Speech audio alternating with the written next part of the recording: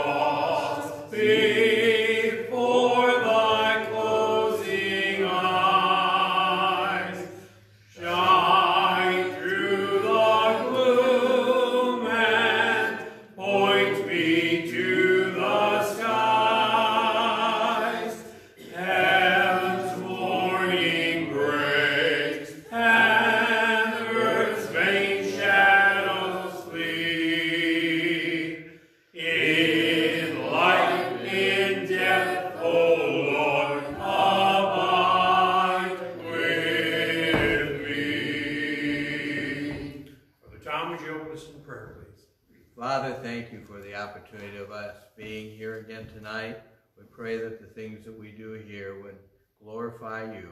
We pray that the preaching of your word would help us to grow in our relationship to you.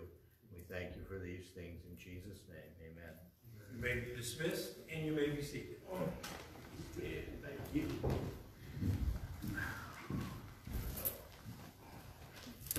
Amen. And so uh, tonight we're going to be looking at uh, when and where to stand.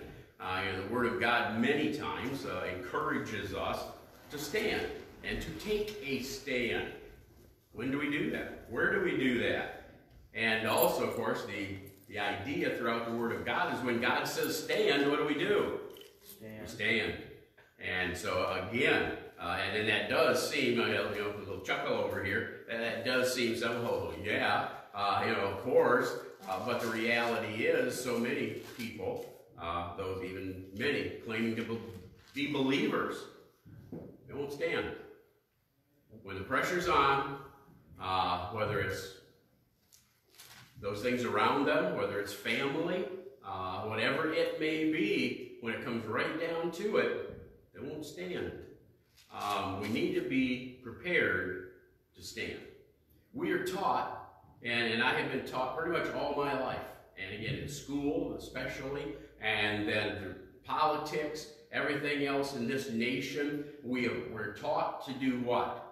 Not to stand, but to compromise.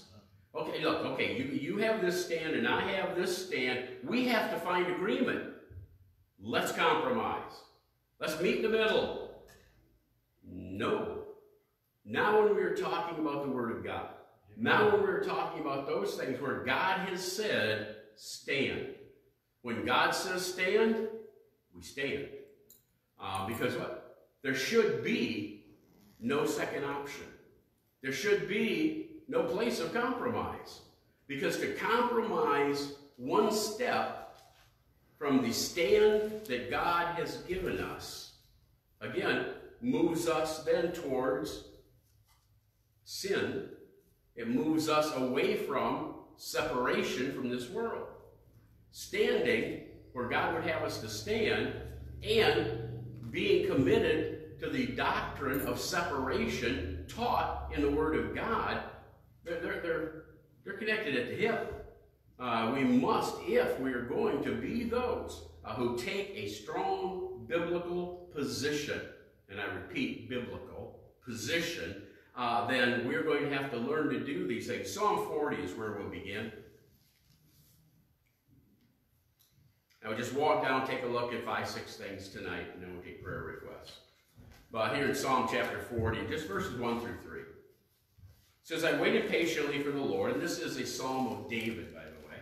I waited patiently for the Lord, and he inclined unto me and heard my cry, and brought me up also out of a horrible pit, out of the miry clay, and set my feet upon a rock, and established my goings, and he hath put a new song in my mouth, even praise unto our God. Many shall see it and fear, and shall trust in the Lord.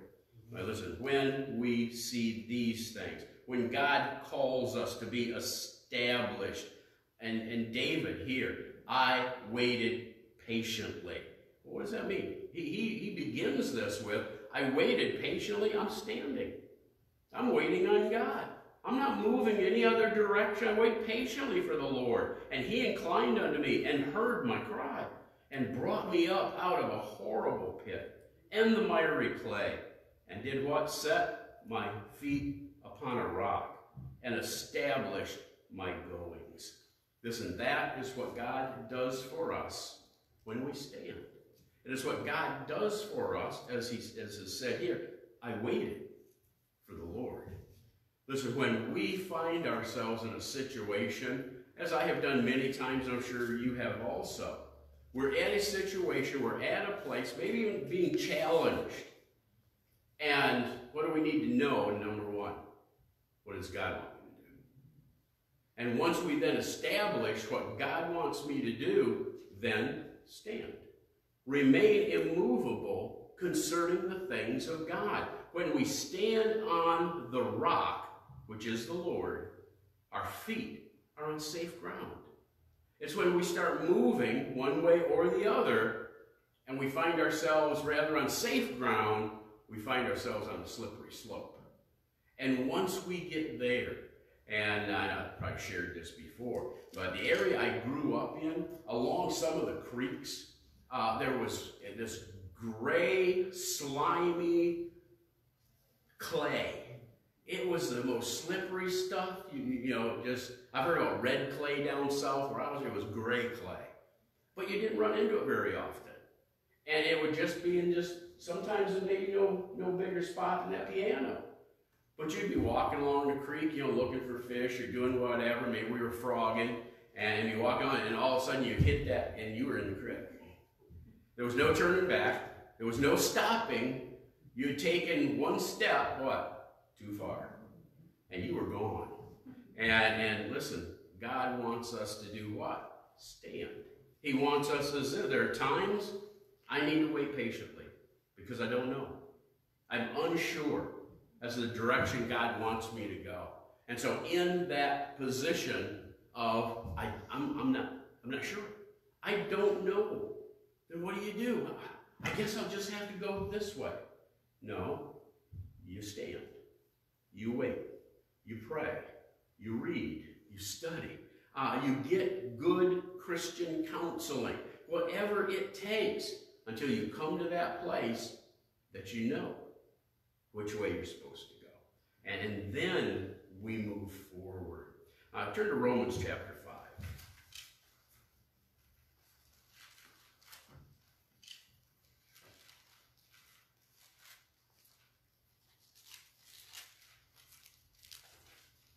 In Romans chapter 5, again, I'm going to just read verses 1 through 3 of chapter 5 here. It gets, these are basically the results of, of justification. But therefore, being justified, how? By faith.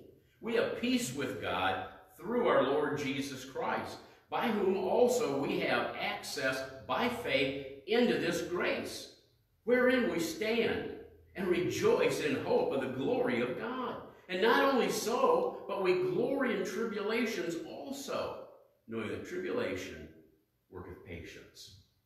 So Paul here, as he is leading in, uh, again, to the results of justification. What does justification, being made just by God, because of my salvation through Jesus Christ. And so what does that accomplish in my life? Well, therefore, being justified, how do I get justified? By faith.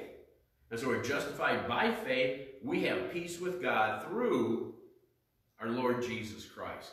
This, again, is one of those salvation maps. How, how, how do I do this? Well, you do this by faith. How do you get saved? By faith. Well, faith where? Well, we have peace with God through our Lord Jesus Christ. My salvation brings me to a place of peace with God the Father. But I cannot get there unless I go through Jesus Christ. Once that has been done, and again, speaking of Jesus Christ, by whom, Christ, also we have access, again, by faith, into this grace wherein we stand and rejoice in, the, in hope of the glory of God. Boy, listen, I believe in Jesus Christ. I believe that he is the only way to salvation. I believe that when I come to him in repentance of my sin and receive Jesus Christ as my personal Lord and Savior, by faith, I believe that this is eternal. Because that's what the Bible tells me. I have what? It's everlasting. It's eternal. It is this wonderful, glorious, never-ending relationship with God the Father. And again, what? Through Jesus Christ. So I'm justified. So many, you know, we look at that so I'll say, well, just as if I'd never sinned. We are justified by faith. We have peace with God through our Lord Jesus Christ, by whom we have access by faith into this grace. Listen, we have access 24 hours a day, seven days a week, to the throne of what? Grace. To the throne of grace at the throne of God. What a wonderful thing that God has done for us, giving us access to God the Father all the time. I don't have to go through anybody.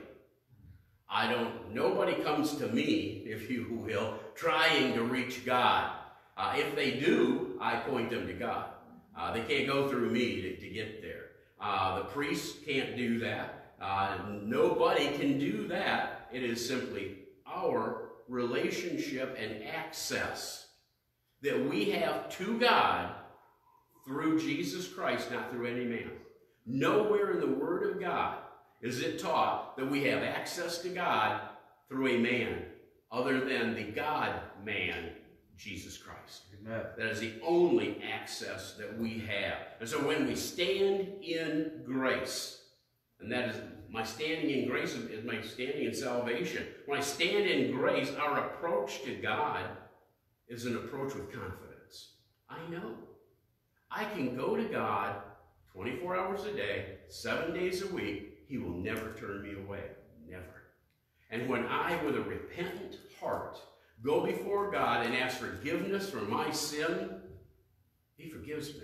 Amen. The Bible says not only does He forgive me, but He forgives and does what? Forget. Forgets. Now, the people around me don't forget. Okay? Uh, you know, when, when we have uh, done something and the people around us know, I can go to God and He will forgive and forget. Uh, the people around us don't forget. It's why we have to be so very careful about our testimony. Listen, when we do something that blemishes our testimony or it loses our testimony before men, uh, my, listen, it is very, very difficult to regain that testimony. And I can think back a number of years ago, and I was working in a, in a body shop. And I don't remember, couldn't tell you now what happened. All I remember is I got really mad.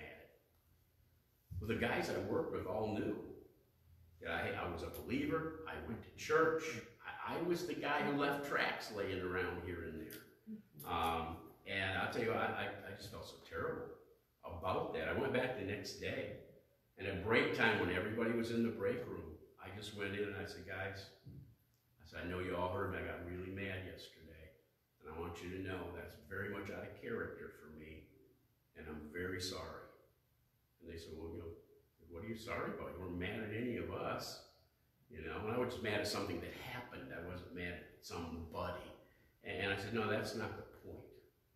I said, you know full well that I have a testimony that I'm saved. I go to church. You know, I, you know, I want to have a testimony before you guys. I lost it by losing my temper yesterday. And I'm just asking you to forgive me. Um, listen, we can lose that testimony. And, and we need to be very, very careful. I think the, the one thing about that was those guys, it was kind of like, we don't see any big deal. well, that's because that's what they would have done. And they wouldn't have apologized because they wouldn't have seen a, a problem with losing their temper. But as a believer, that's a problem. And that goes more towards testimony. Even though they didn't see the problem, when I said it's a problem to me, this is a problem of the heart. This is a problem between me and my God. That helped to establish, again, my clear relationship with Jesus Christ. And so we need to be very, very careful, again, about our testimony. When we stand in grace, our approach, we can approach God with absolute confidence about anything and receive forgiveness, and He forgets. But again, the people around us don't forget. And uh, just we always we must keep that in mind. But also, look at this matter of stand. Go to Ephesians chapter 6.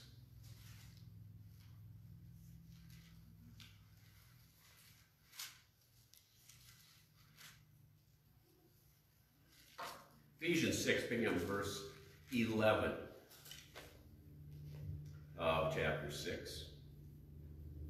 Put on the whole armor of God, that ye may be able to stand against the wiles of the devil. For we wrestle not against flesh and blood, but against principalities, against powers, against rulers of the darkness of this world, against spiritual wickedness in high places. Wherefore, take unto you the whole armor of God, that ye may be able to withstand in the evil day, and having done all to stand, stand therefore, having your loins girt about with truth, having on the breastplate of righteousness, and your feet shod with the preparation of the gospel of peace. Above all, take on the shield of faith, wherewith ye have, uh, ye shall be able to quench all the fiery darts of the wicked, and take the helmet of salvation, the sword of the Spirit, which is the word of God. How do we strengthen ourselves? And how do we take on this armor? And how do we stand as this repeats over and over in these just few short verses? The Word of God. And when we look at these things and we get to the end in verse 17, take the helmet of salvation, the sword of the Spirit, which is the Word of God. Listen, when we pick up that sword of the Spirit, the Word of God, the Bible, it has the answers. It has the directives for us. When I am unsure, where should I, what should I do? Where should I go? How should I stand? The answer's in the book. And so we must turn to the Word of God that we would know when and where to stand. And it is always a stand for what? For God and for truth. And so as, again, walking through all those things. When we stand in the armor of God, we can withstand the assaults of our spiritual enemies. And our spiritual enemies are many, and they're all about us.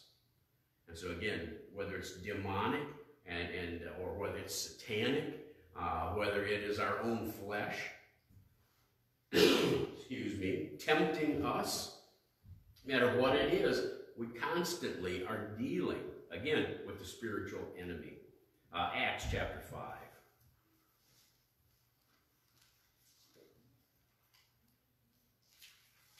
In Acts chapter 5, go look at it, it's several, I'm just going to kind of hopscotch uh, through here, or, or, or else I was going to have to read about the whole chapter. And, and so uh, I just want to take a look here at this matter. When we stand against the threats and the persecutions of this world, it must be in the power of the Holy Spirit. And so I just want to take a look here in verse 5. Start in verse 17 of verse 5. Then the high priest rose up, and all they that were with him, which is uh, the and Sadducees, and were filled with indignation. Now the apostles are in prison. And, and so, again, this walk along with that in mind. And laid their hands on the apostles and put them in common prison.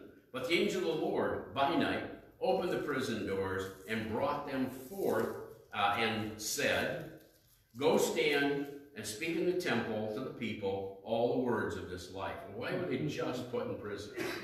For preaching the word. for preaching the word. And so now they're released from prison, and, and this is interesting uh, because when they were, well, just just we'll we'll that just a second. Go down to verse twenty-eight.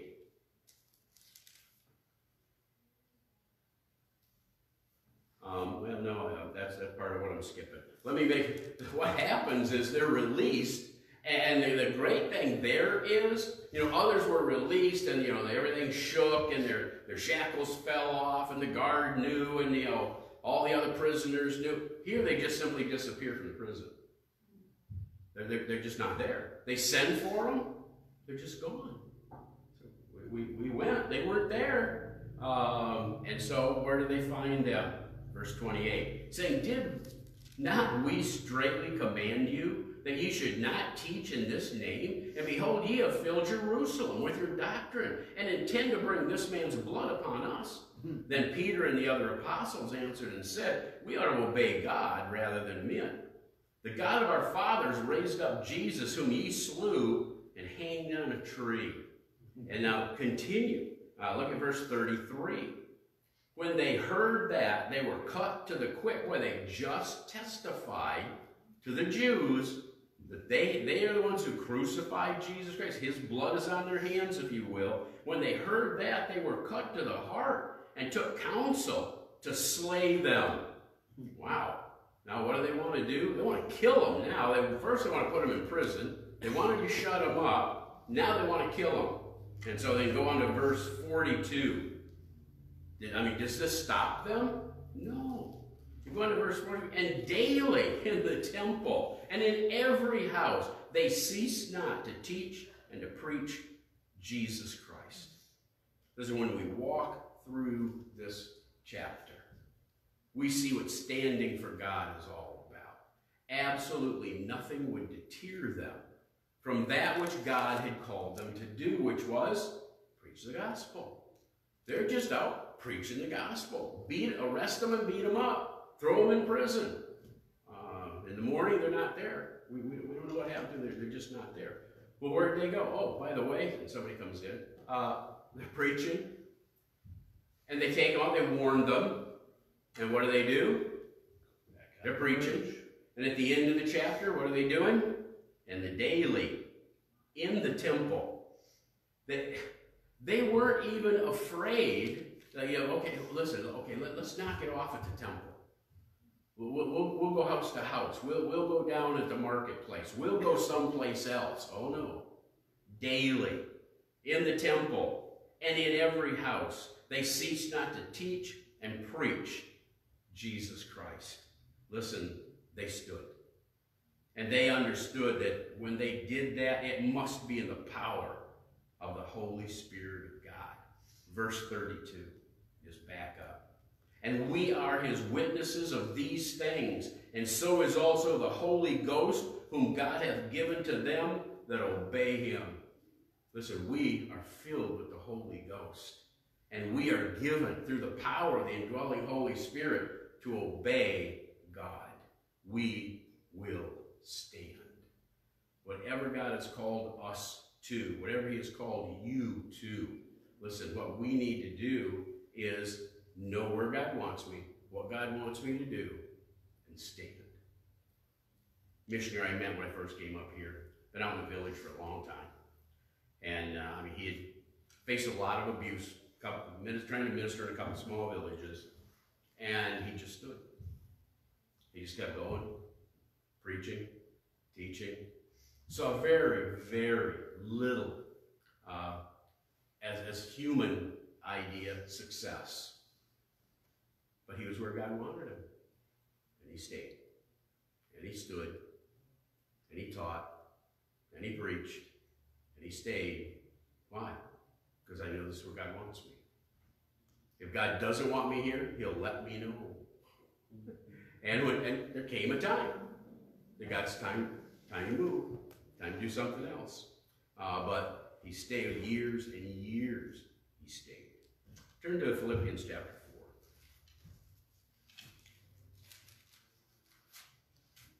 Philippians chapter four and verse one, just very simply. Therefore, my brethren, dearly beloved, longed for, my joy and crown. So stand fast in the Lord, my dearly beloved. You that I love. What, what advice is he going to give to these? And again, the way that he writes this, he is simply in love with these believers. And he wants anyone who's in truly, truly in love with a person or a group uh, listen, they want what? The very best. Therefore, my, my brethren, dearly beloved, longed for, my joy and crown, to stand fast in the Lord, my dearly beloved. Boy, what, what does he tell them? Stand fast in the Lord. What's he say? Don't be moved. Stand. Know where God wants you and stay there. And then lastly, Romans chapter 14.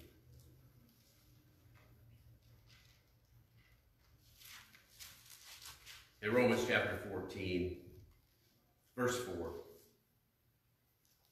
Who art thou that judgest another man's servant? To his own master he standeth or, or falleth.